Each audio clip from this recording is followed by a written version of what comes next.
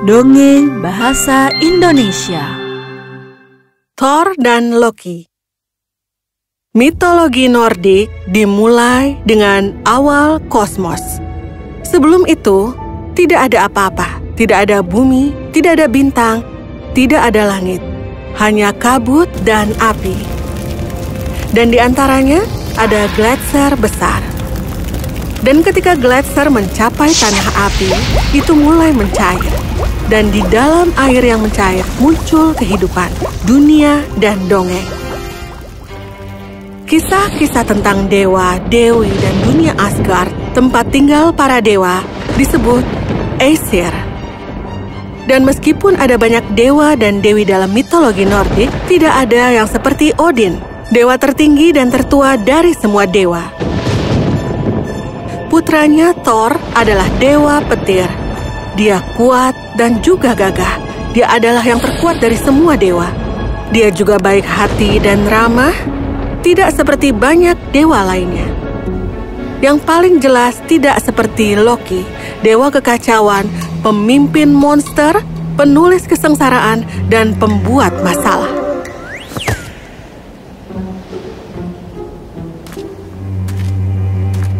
Ah, si cantik Sif. Thor menyukai rambutmu, bukan?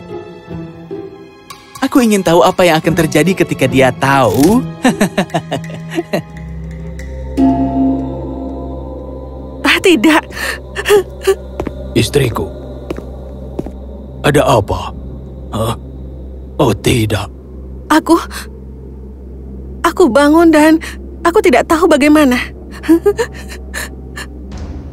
Dia akan membayarnya. Siapa? Tapi Thor sudah dalam perjalanan. Loki? A- apa? Kenapa kau melakukannya? A- a- apa yang kau bicarakan? Rambut istriku, rambut emasnya yang indah. Em, aku tidak tahu. Cukup.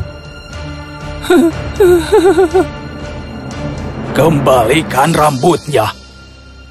Em, itu tidak mungkin, tapi dia bisa memakai topi kan? Tidak akan. Kau dengarkan aku baik-baik, Putra Laufey. Jika rambut Sif tidak kembali saat matahari terbenam besok, maka aku berjanji aku akan mematahkan semua tulang di tubuhmu. Dan dengan ultimatum itu, Thor pergi keluar, membuat Loki ketakutan. Aku pikir aku kelewatan kali ini. Ini adalah akhir dariku untuk bisa... eh, tunggu, aku tahu. Sebuah ide muncul di benak Loki yang nakal. Kurcaci. Ya, hanya mereka yang bisa membantuku sekarang. Dan pembuat onar pergi ke negeri Kurcaci, yang merupakan pengrajin terbaik di seluruh dunia. Pertama, dia pergi ke bengkel bawah tanah dari tiga kurcaci yang dikenal sebagai Putra Ivaldi. Halo Putra Ivaldi, aku dengar kalian adalah pengrajin yang hebat. Tetapi kabar yang beredar akhir-akhir ini adalah bahwa Brok dan Eitri adalah pengrajin kurcaci terhebat hingga saat ini. Bohong. Apa pun yang mereka buat, kami bisa membuatnya lebih baik. Hmm, begitu ya. Ya, aku kira sudah saatnya kalian membuktikan.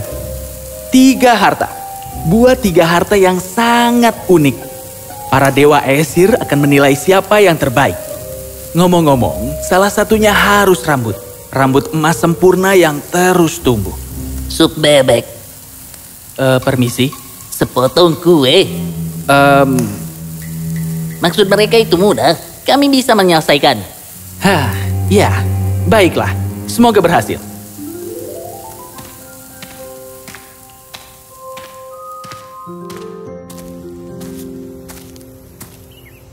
Sekarang jika kau berpikir bahwa Loki telah selesai, maka kau belum mempelajari lebih lanjut tentang pembuat kerusakan, karena dia tidak kembali ke Asgard, tetapi pergi melintasi gunung untuk melihat kurcaci bernama Brok, yang bekerja dengan saudaranya Eitri di sebuah bengkel. Loki, apa yang kau lakukan di sini? Putra Ivaldi membuat tiga harta untuk para dewa Asgard. dan mereka menantangmu dan saudaramu Eitri. Tapi Brok dan Eitri bukanlah orang yang bodoh. Mereka merasakan bahwa Loki merencanakan sesuatu. Loki, aku tahu yang kau lakukan. Aku yakin ini hanyalah akal-akalanmu dan sesuatu yang pribadi dipertaruhkan di sini. Tuduhan, tuduhan. Aku membawakanmu berita dan kau menuduhku? Baiklah, aku akan pergi. Tunggu, baiklah, kami akan berpartisipasi. Tapi mari kita jadikan ini di antara kita, oke? Maka Brok mengusulkan bahwa jika mereka memenangkan kompetisi, mereka akan memiliki kepala Loki, mesin pemikirnya, yang dengannya mereka akan membuat perangkat yang luar biasa. Loki tersenyum, tapi dia tidak tersenyum di dalam. Setuju. Sampai jumpa besok di Asgard. Loki pergi, tapi tidak juga karena dia cemas sekarang. Dan kenapa tidak? Kepalanya dipertaruhkan secara tiba-tiba.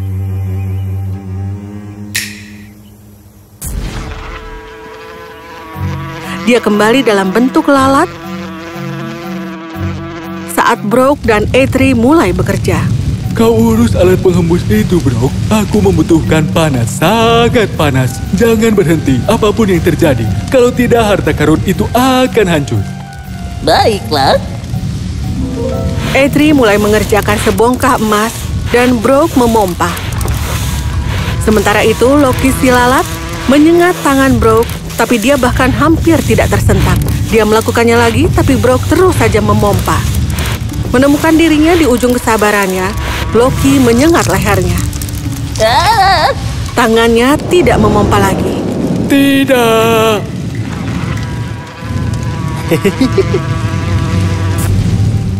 Dan kepalaku sekarang aman. Merasa senang, Loki kembali ke Asgard. Sekarang yang harus dia lakukan hanyalah menunggu hari berikutnya. Keesokan harinya, tiga dewa, Odin, Thor, dan dewa panen musim panas, Frey, duduk di singgasana mereka. Mereka harus menilai harta karun itu. Loki menatap Brok yang berdiri dengan kepala tertunduk dan tersenyum. Putra-putra Ivaldi maju lebih dulu. Pertama, mereka menghadiahi Odin dengan tombak yang disebut Gungnir yang bisa menembus apa saja dan tidak pernah meleset. Odin senang karena bagaimanapun juga dia hanya memiliki satu mata dan bidikannya tidak selalu sempurna. Kemudian mereka mempersembahkan rambut emas yang mengalir yang terbuat dari emas asli kepada Thor. Dan Sif sangat senang mendapatkannya. Rambutnya yang sangat pas dengannya sehingga dia terlihat lebih baik dari sebelumnya. Thor senang. Loki sangat senang. dan akhirnya ini untukmu. Frey memandangi kain kecil yang terlipat. Tidak senang. Sebuah shawl sutra. Ya, tapi saat kau membukanya, ini adalah sebuah kapal besar bernama Skidbladnir. Itu akan memiliki angin ke mana pun ia pergi. Dan meskipun itu adalah kapal terbesar di seluruh dunia, kau dapat melipatnya seperti kain dan memasukkan ke dalam sakumu.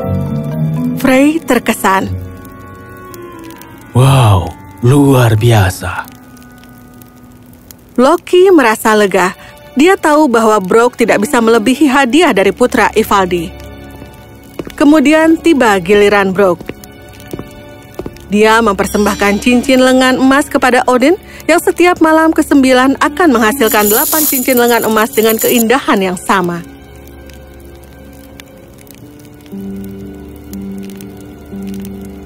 Kemudian dia melihat ke arah Frey dan memperlihatkan babi hutan besar dengan bulu yang terbuat dari emas.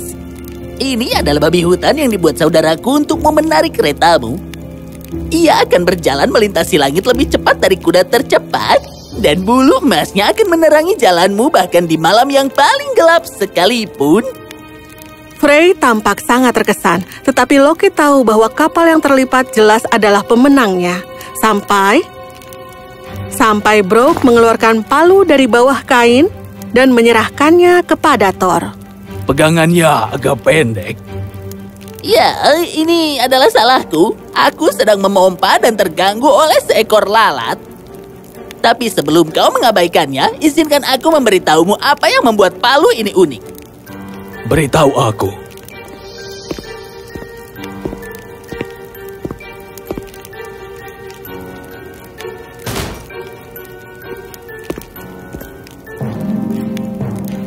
Palu ini bernama Mjolnir, pembuat petir.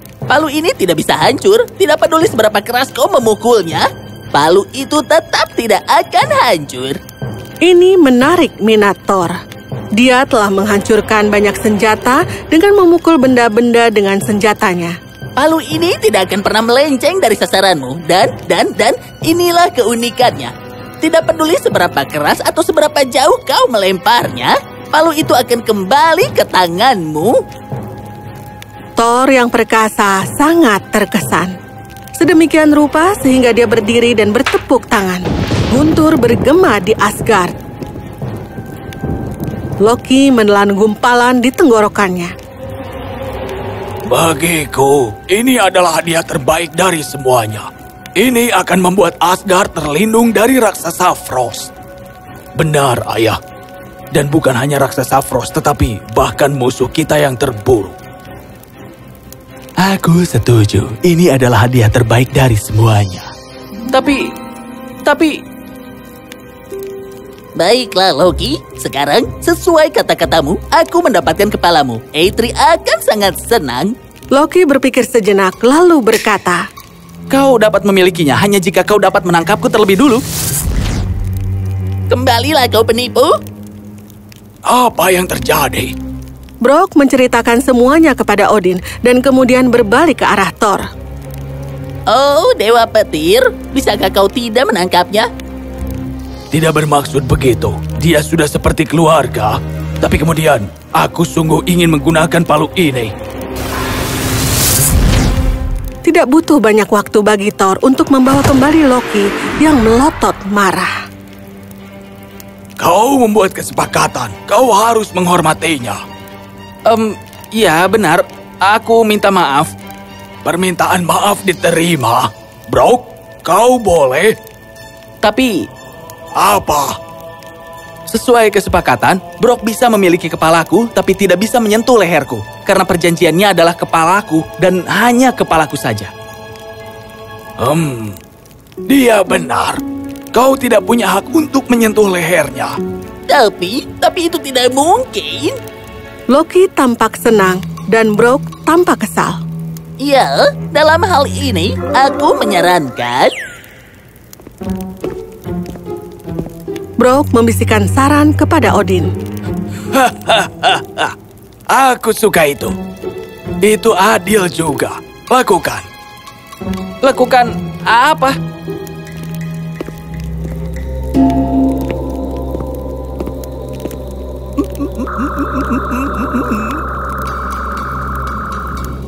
Aku telah menyegel bibirmu.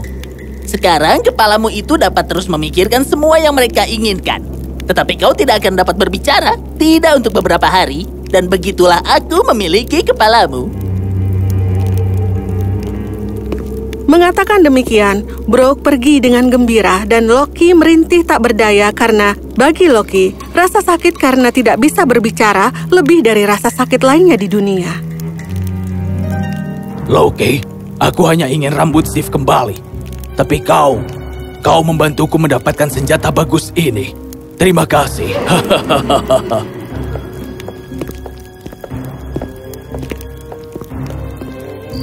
Jadi, kau tahu, semua dewa mendapatkan harta terbesar mereka karena kesalahan Loki.